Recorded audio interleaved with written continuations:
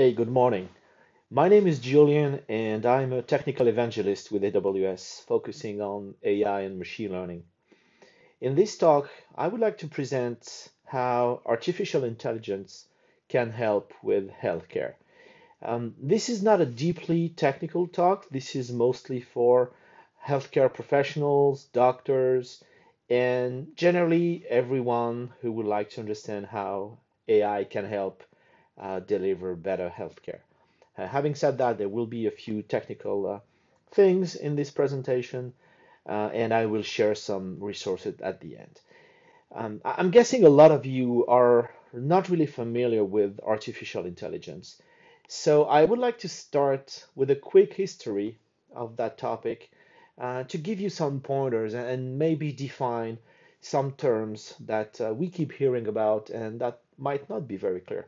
So let's go through a few slides explaining where AI comes from and what the main uh, techniques are, and then we'll look at how those techniques can be used uh, for healthcare.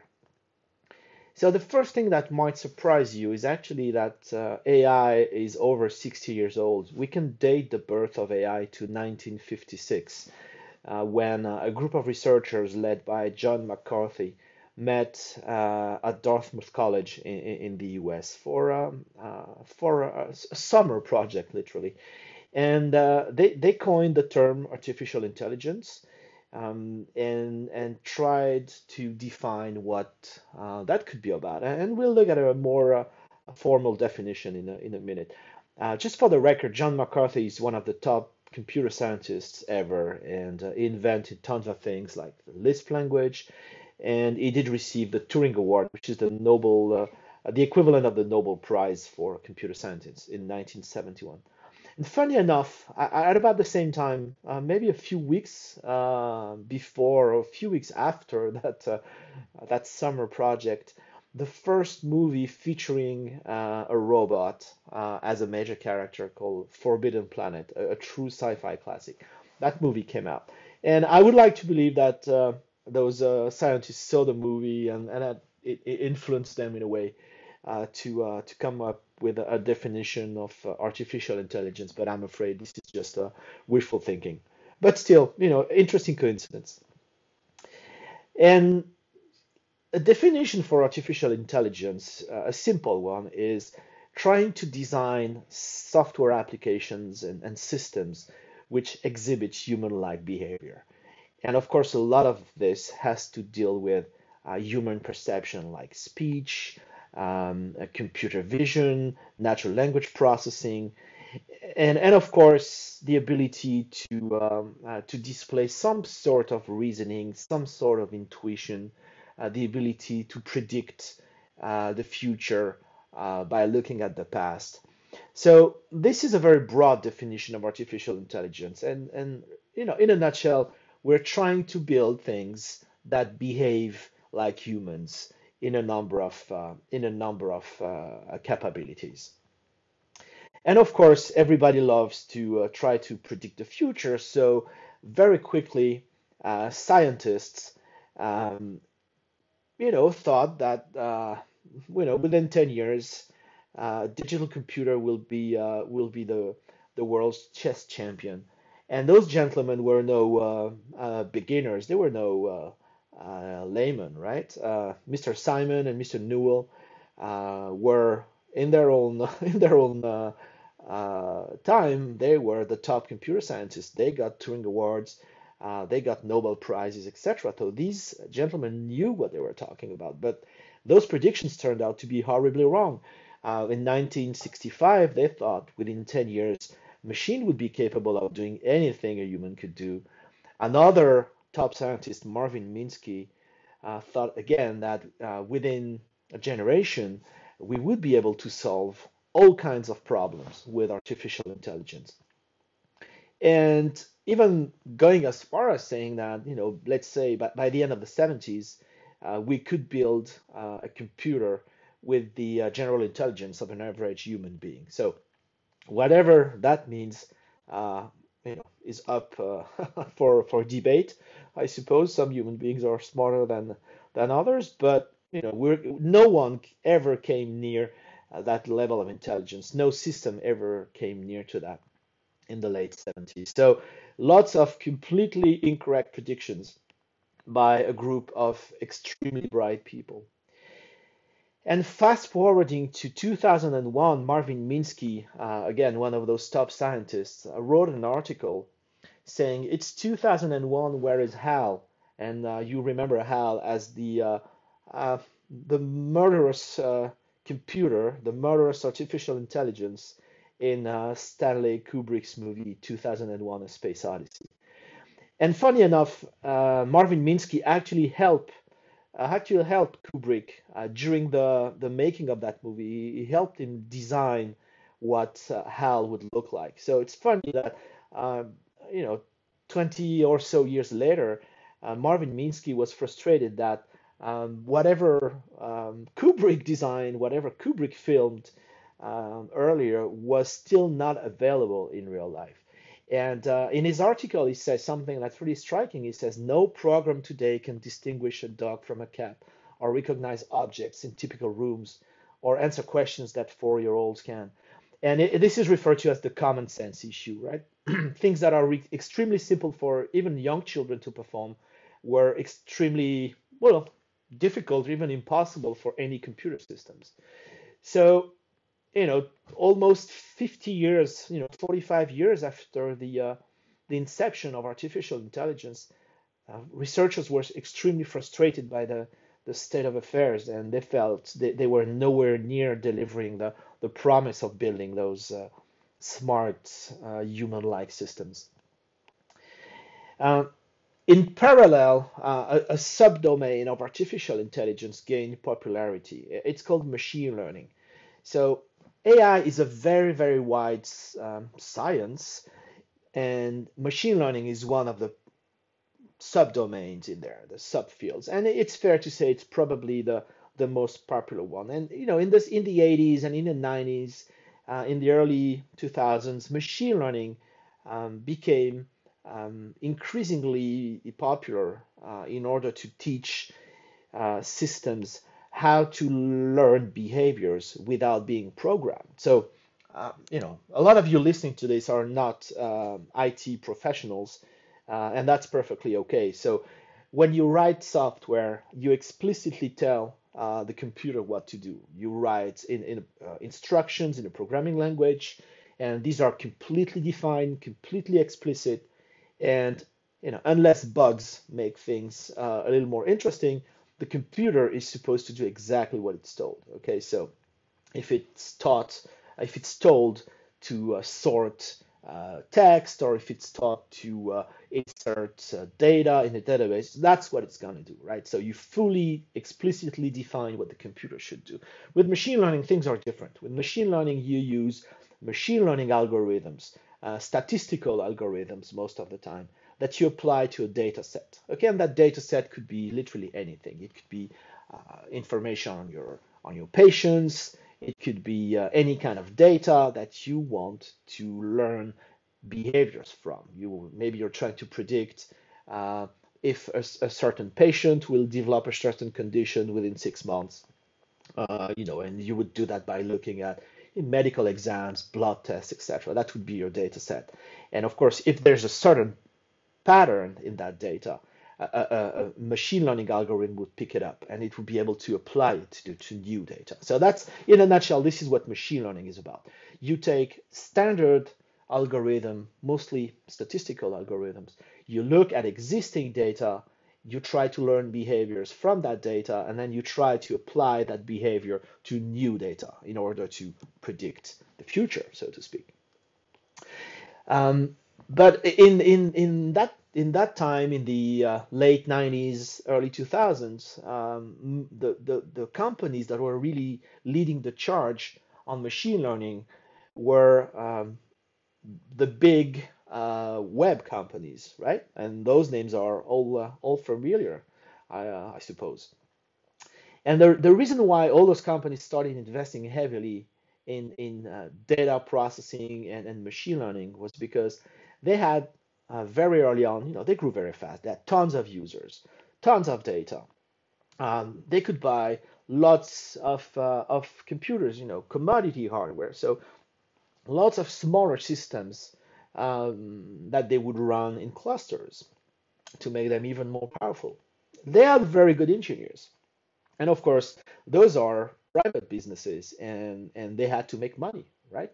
To keep growing and to keep uh, um, uh, developing their, their business. So the way I put it, it was really gasoline waiting for a match. There was so much data uh, that traditional systems, traditional databases, um, traditional IT solutions could not uh, work at that scale. It could not work for those uh, hyper growth companies. So something had to happen. And in at the end of 2004, uh, Google published um, a really important paper um, uh, explaining uh, the MapReduce architecture. So not going to go into details because again, this is not a, a technical talk, but let's let's take at uh, the fact that this is really a, a, new architecture on processing data at very large scale. So for those companies, it was mostly about web traffic, uh, user interaction with the with their websites, their mobile apps, etc. And they needed to extract information from that, mostly for advertising purposes. Um, and uh, a few months later, uh, about a year and a half later, uh, Yahoo actually implemented uh, the architecture described in Google's paper and open sourced it. So they made it available to the to the technical community, to all the developers out there, and you know this really caught like wildfire. And before you know, before you knew it, uh, every company was trying to uh, to process their own data using um, those architectures and those uh, open source solutions. So that was really the um, the the renaissance or the you know the um, the, I don't know the new beginning in really that um, data processing uh, needed and and of course this was the first step in uh, in applying machine learning on huge data sets. So it's interesting to see it, it really didn't come from the from the research angle in a way. Um, some of the research was stalled for decades waiting for something to happen, waiting for commodity hardware, waiting for uh, uh, lots of data to be available, waiting for open source tools, I suppose. And this all came together in the mid 2000s, and it came together because those web companies uh, built the infrastructure and, and the technology to make it run. And then machine learning kind of you know moved on to the next step at very high scale. So a few years later, um, you know, let's say in the uh, two in the 2000 and years 2010 and, and, later, machine learning is everywhere. Okay, all the all the web companies, all, the software vendors implement machine learning in in some form, but HAL is still nowhere to be seen. So we got extremely good at processing data at scale, but we could not build artificial intelligence systems in the original uh, sense of the word. And the reason for that is because traditional machine learning, statistical machine learning does not work well on unstructured data. And unstructured data means if anything that doesn't fit in a database, right? Anything that doesn't fit in columns, in a, in, a, in an Excel sheet, so to speak, right? Um, so images, video, speech, uh, free-form text, etc. All these are um, highly complex data uh, that are just, you know, uh, uh, a, a, blob of data. There is no visible structure in there, uh, like you would have again in you know medical exams or patient reports. You know things that are neatly organized and that you can put in columns and, and look at. Here it's just a big blob of data, and and machine learning doesn't work with that. And uh, this is really frustrating because you know identifying objects in images or understanding speech or translating speech are things that are pretty easy for people to do um, but they are very difficult for computers to, to get right. And the reason for that is because it's it, next to impossible to describe those tasks formally, right? You cannot formally define how to identify specific things in an image or how to formally understand words uh, in a, in a sentence. It's just it's just not possible. So it doesn't fit uh, the computer's mindset, right? So the big question is, how do you fit informal knowledge into a computer? How do you help a computer extract understand structure and extract patterns from something that's just a big blob of data, right? And statistical algorithms don't work here. And the, the, the, the next step of that revolution was, the, again, the resurrection of neural networks, a technology that had been around uh, since the late 40s, actually, um, so, somehow predating artificial intelligence. Um, and those neural networks were applied to um, uh, to machine learning, and this gave birth to a new subdomain of uh, machine learning called deep learning. Okay, and so deep learning is really a subset of machine learning that focuses on the same thing, teaching machines to learn uh, from data, right, without being explicitly programmed. But this time, those neural networks have the capability to understand data that is unstructured, to understand data where features, where um, uh, patterns are hidden or cannot be explicitly expressed. Okay, so things like images, things like uh, speech, uh, free-form text. Uh, now, using deep learning, uh, we can extract patterns from there. Okay, and I won't go into the specifics of deep learning, but the reason why it's called deep learning is because we tend to build layers okay of neurons of artificial neurons and we uh, stack them up in a way uh, like pancakes okay passing data from one layer to the next and state of the art networks can have hundreds of layers okay and this is why it's called deep learning because we will learn uh, gradually by passing data through those neuron layers. And again, there could be a huge number of those. Okay, so that's uh, I would say a short introduction of of artificial intelligence, machine learning, and deep learning. So the key things to remember are um, those technologies have been around for a long time. Um, they've been somewhat successful in the early decades but what really, really made them relevant is um, the ability to scale, the ability to process vast amounts of data uh, on, on cheap hardware using open source tools and um, and and also um, using these days uh, deep learning to understand complex data that uh, relate to again vision, speech, uh, uh, natural language processing, things that are key to what uh, being a human means, right?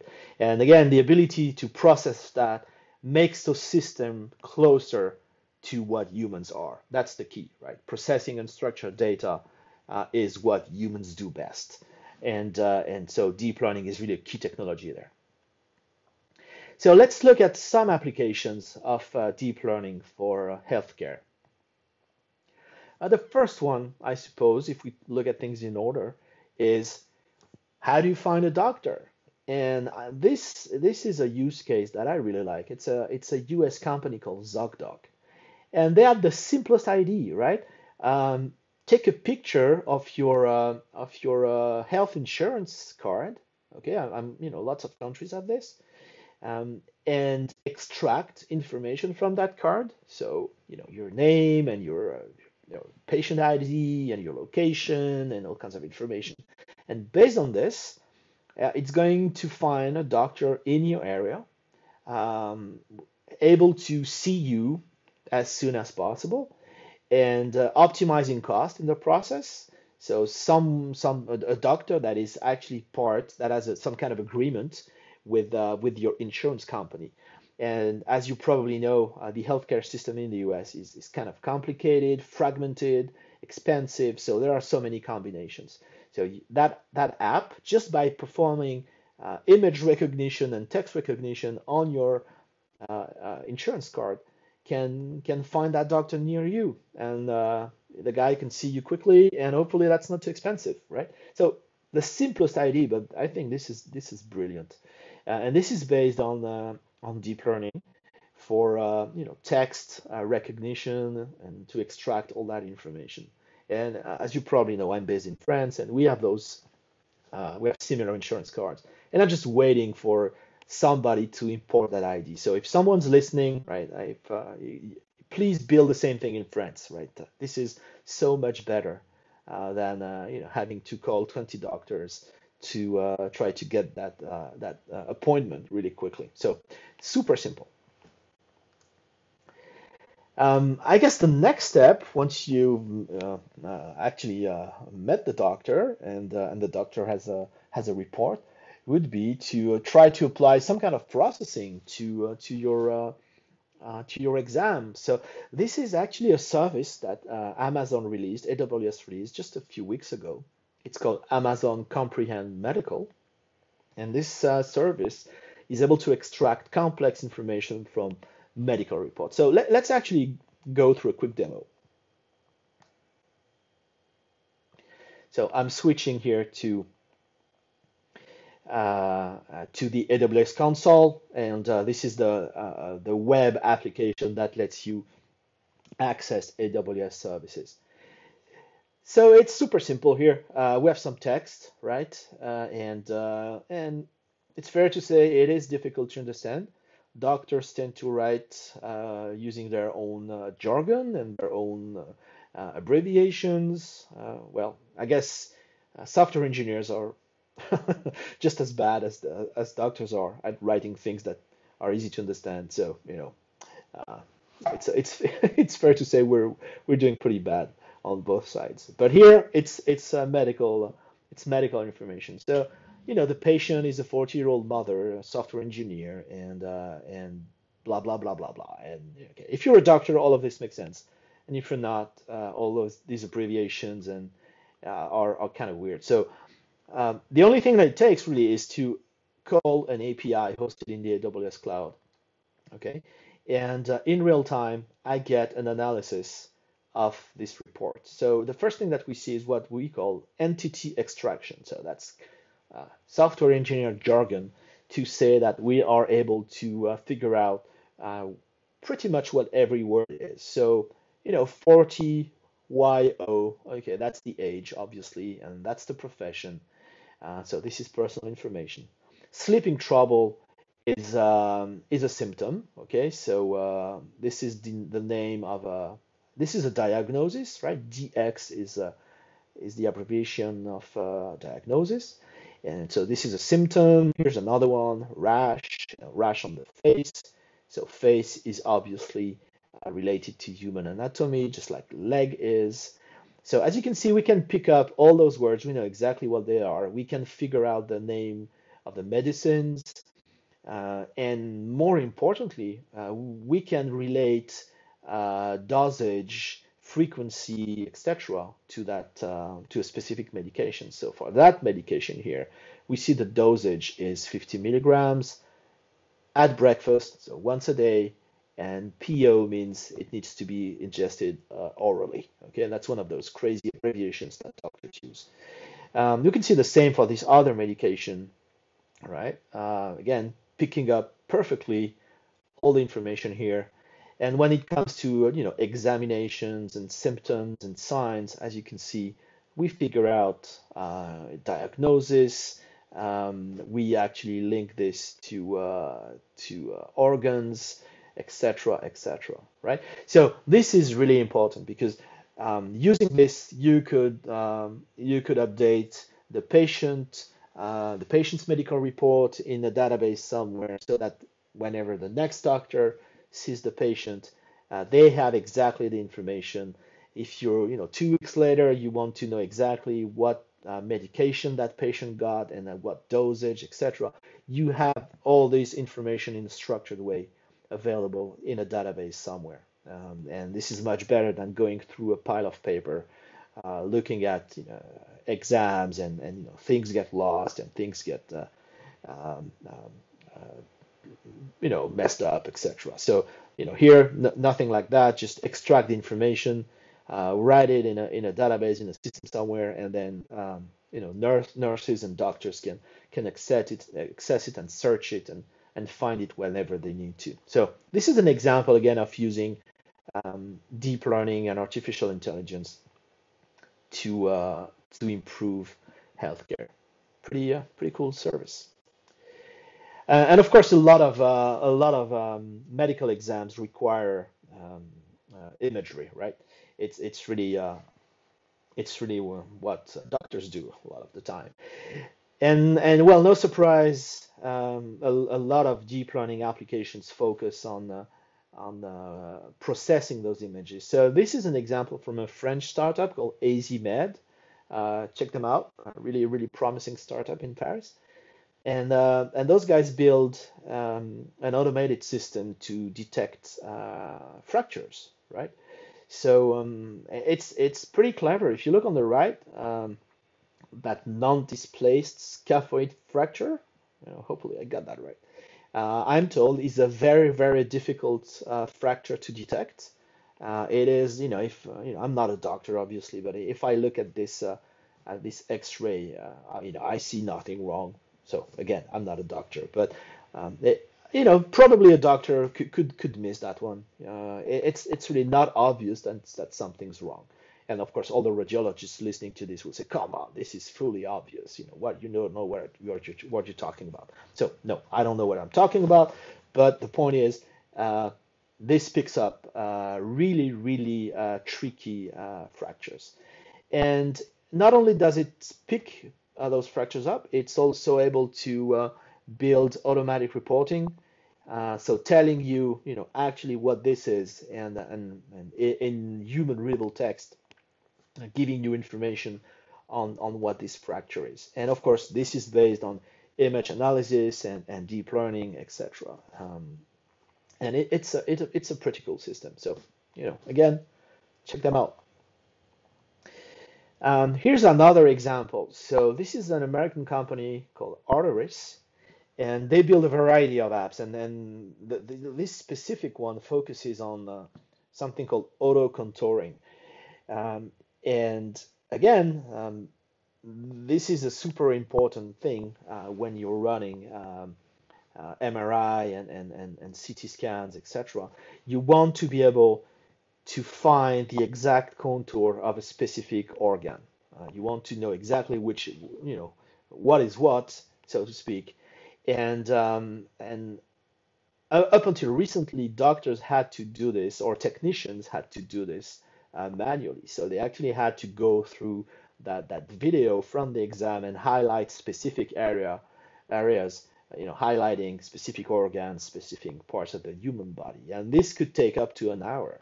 Uh, now, using this uh, deep learning technique, Arterys can do this uh, on, on the heart, but they can do this for other organs as well.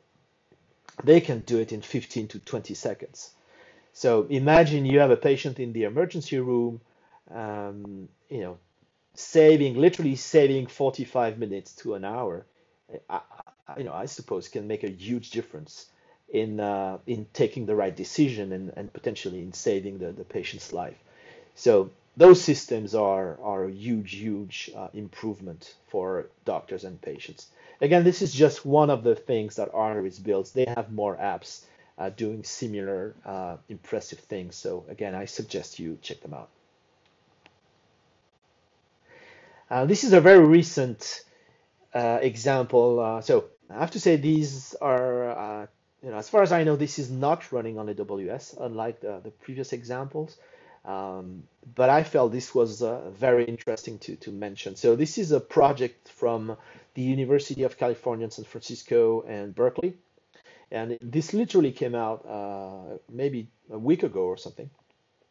And by analyzing uh, brain scans, uh, they they built a, a, system that can detect pretty much flawlessly um, that a patient is going to develop Alzheimer's disease um, more than six years uh, before the actual diagnosis. Yeah, uh, imagine that. So by looking at scans, you can predict that uh, this this patient will actually develop the disease in a number of years, right? Up to six years. So Again, I'm not a specialist, but I can imagine if you have this information two years, three years, four years before, um, there are steps that you can take. And uh, you know, even though we don't have a cure for this uh, this ugly disease, I'm sure at some point we will, and uh, or we can find ways to uh, to improve patients' conditions. So having this early warning years before surely is going to make a difference in uh, in helping and hopefully uh, curing patients. So this is really a, a, fantastic a fantastic example, um, and there are plenty more examples like this uh, for you know heart conditions and skin conditions, etc. Uh, deep learning is extremely extremely good at uh, at detecting problems by looking at complex images um, and doing that faster and as accurately as human doctors and sometimes even more accurately. And well, um, these are interesting examples, but I'm sure a lot of you think, oh, uh, yeah, okay, that's nice, but AI will never, never replace doctors.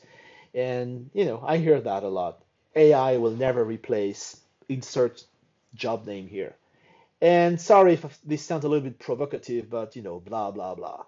Um, I, am sure, uh, you know, decades ago, people thought, oh, cars are never going to replace coaches and, uh, and, uh, and nuclear energy is never going to replace coal and and X is never going to replace Y.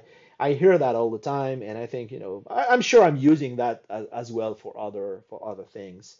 So I think we have to look further than this. Um, this is, in my opinion, this is the, really the wrong debate because 5.8 billion people on our planet do not have access to an expert physician. Okay, read that number again, 5.8.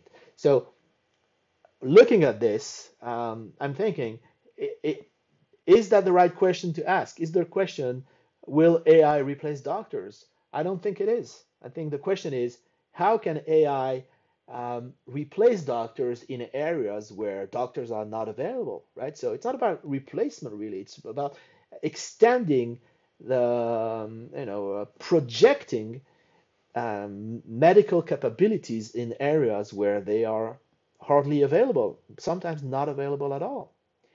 Uh, here's an example. I know cervical cancer. What a, what another ugly thing. It kills um, 270,000 women every year.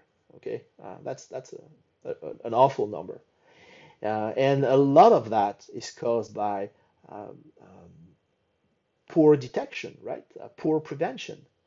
And you could think, okay, yeah, this is probably for you know uh, the, the the poorer countries, the you know the the, the, the underdeveloped countries, and, and I mean no offense by, by by this word, that's just my word for it. But this is actually wrong. If you look at the at this map of the of the U.S., um, the red this is the map of U.S. counties, and the red counties uh, are uh, counties where um, there is no um, no member of the uh, of the American uh, organization for uh, um, uh, obstetricians and gynecologists, right? So look at this, uh, a whole a whole lot actually of counties do not have do not have obstetricians and gynecologists. Okay, so um, that's that's an amazing statistic. I think I was I was really surprised to see this. So obviously this makes it very difficult for uh, for all women to get proper uh, exams and, and, and, proper prevention. Um, so this company called Mobile ODT, um, it's an Israeli startup uh, using AWS. They built um, they built a device that let um, um, healthcare professionals perform uh, exams uh, just with a smartphone. Okay, and obviously this is a very lightweight device. This is a very inexpensive device compared to uh, compared to the the big equipment that uh, uh, you know uh, OB-GYN and uh, and, uh, and, and hospitals would typically have, and it, it, it can be deployed anywhere. Uh, this is a, a picture, a, an actual picture take, taken in um, in an African country, where you can perform you can perform exams uh, quickly, inexpensively, without any kind of complex hardware, and without any uh, uh medical expertise, right? You could train a nurse, you could train uh, someone to just perform the exam right, and then the app sending results to the cloud can actually perform uh, the uh, the expert analysis on does this person uh, have uh, cervical cancer or, or, are there early symptoms of that? Okay, and this is a huge boost because now just train the local workforce um, and they can run um, all of the exams in the most remote locations and this definitely saves lives. Okay, there's a, there's a really good uh, article, uh, you can see the URL here, explaining how, uh, how mobile ODT deploys this uh, in, in very remote areas. So this is a good example. So you could say, oh, it's replacing doctors, except, well, it's actually replacing doctors in areas where doctors are not available. So is that really replacing? I don't think so. Uh, another example is, um, what about people who need constant supervision? Um, one children in 59, so almost 2% of US children suffer from autism. And almost 50 million people in the world have Alzheimer's disease. And, and, and we know in both, in both cases, uh, patients need a lot of supervision. They need a lot of, uh, of uh, human assistance. And it's probably not available, right? It's probably not possible to, uh, to have a nurse or, or a doctor helping those patients 24 7 surely it's not possible. So you know it ends up being families trying to deal with this and, and we know it's, it's very difficult. So here's an example. Um, this is actually um, this is actually an aws employee. Uh, it's uh, troy. Uh, great guy. I've met him. And uh, and troy um, has a son called calvin and uh, calvin has uh, suffers from autism. And and using a number of AWS services uh, for speech to text and uh, and uh, natural language processing and chatbots, etc. Uh, Troy has built a system that lets uh, his kid uh, interact with um, um, with a chatbot, really, okay, a voice-based chatbot. So you can look at that video on YouTube. It, it's a little too long to play here. Uh, but Troy explains how he built the system, how it helps uh, his son getting uh, get instructions during the day. You know, simple things. You know, brush your teeth or or uh, you know come come for dinner or etc. etc. And uh, and by by interacting with the system, Troy's son actually communicates better. So it's it's one of those crazy things you would think that you know there's nothing that replaces human interaction, but human interaction can actually be very stressful uh, for autism patients. And as it turns out, um, um, the interaction with the chatbot, with the voice chatbot, works very well for for Troy's son. So it's a way to you know communicate with him better. It's a way maybe to uh, um, uh, give him you know uh, advice or or some kind of supervision uh, without actually being physically present. Okay, so uh, that, that's that's an interesting approach, I think. So it's probably not going to work for all patients, but this is an interesting example. And again, uh, I would really, really encourage you to look at this video. Uh, we can see uh, uh, Troy and, and his son interacting with the system, and it, it's fascinating, I think. So I guess th this could be extended to um, any patient that needs help 24/7 um, and we'll again we'll know we know it's a bit impossible to have humans in the room 24/7. So providing assistance, providing guidance, you know, uh, making sure medication is taken properly, etc., etc. All of this can be done uh, efficiently and uh, and and and uh, and in a friendly way uh, using chatbots. So again, look at this video. I don't think you've ever seen anything like it. And well done to, to Troy again for building this. So I, I, truly believe that AI is a revolution for uh, healthcare professionals. Um, it, it allows them to perform earlier detection. Uh, think about that mobile ODT app uh, detecting uh, cervical cancer literally anywhere on the globe as far as uh, as long as you have the device, as long as you have some kind of network connectivity uh, and and and and and a trained person to to deliver the exam.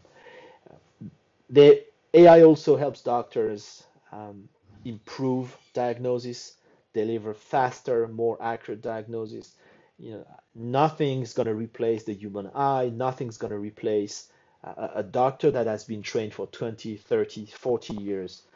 But if you need confirmation, if you need a second opinion, uh, you can get it in seconds from uh, from an AI system. Okay, look, think about the fracture example. Um, think about that uh, contouring system from uh, Arterys, right? You save literally almost an hour uh, in, in, in understanding what that exam is and, and where to look at and, and what the condition could be, etc. Then you know you, you get to better decision faster. That's my point. And then based on this, of course, you can also decide what the optimal treatment is, and it could be personalized because if you have a database of you know hundreds, thousands of patients that have been uh, that have gone through the system, then you know that you could apply uh, artificial intelligence on recommending the best course of actions, right? What medication, what dosage, what surg surgical procedure, okay? Again, learning from that data set of historical patients can help you figure out what the best option is for um, for the next patient. And again, this is going to be a mix of the, the final decision will be a mix of your own human experience and whatever the system tells you. But it's like a constant friend, a constant second opinion that you get based on, you know, a very large set of patients, you know. So uh, I guess that's helpful. And, and generally, I think there's there's lots of room uh, for improvement on you know saving time and paperwork and, and unnecessary exams by just uh, automating document processing, automating a whole lot of uh, procedures, and and making sure you you you always take the right action, and uh, and that's always in the interests uh, in the interest of the patient. So by doing all of this, uh, I think healthcare professionals can focus on the most important things, and obviously it is humans, right? This is why uh, doctors became doctors in the first place. They became doctors to help uh, um, mankind, right? To, to from birth to death, um, to make sure you know we live a, a healthy, happy life, and that's what doctors are about, right? Um, and and no artificial intelligence system is ever ever going to replace uh, human empathy and, and human touch, even in the most difficult uh, situations. So my opinion is this is what doctors should focus on. Spend more time with patients, explain uh, explain options, uh, guide us through uh, the best resolution for um, for whatever problem we have, and when there is no resolution, then just be there for us until the end. And again, no AI is going to do that. So a few more resources to uh, to learn more. So uh, if you're curious about uh, additional case studies uh, we have plenty more. We have a lot of uh, healthcare and life sciences companies running on AWS. So uh, please take a look at this page. If you're if you're um, curious on how you could start using those technologies, uh, either directly or working with partners, etc., uh, I would suggest uh, you contact us directly through the website, and and an AWS representative will get back to you and, and understand what your requirements are and point you in the right direction. If you are a more technical person, so if you actually are working in IT and uh, and you would like to start uh, experimenting with uh, some of those services, uh, these are the right places to uh, to look at so getting started with AWS if you've never worked with it, and uh, and of course looking at our machine learning and deep learning services would be would be interesting. But I have to say those last two URLs are really for uh, IT IT people. The first two are, are for everybody. Okay, so please get in touch. Please let us know how we can help, uh, and um, and we'll get back to you. Thank you very much. This is the end of this presentation. I hope it was uh, it was informative. Um, and uh, again, uh, you can get in touch with me directly on Twitter. This is my Twitter account. I also have a, a blog on Medium, probably for the more inclined people out there but that's also a way to uh, to get in touch with me. Um, again, I hope this was useful. I hope you learned a few things. Uh, please get in touch if you have questions. And uh, thanks for listening. And until next time, uh, have fun experimenting with AWS.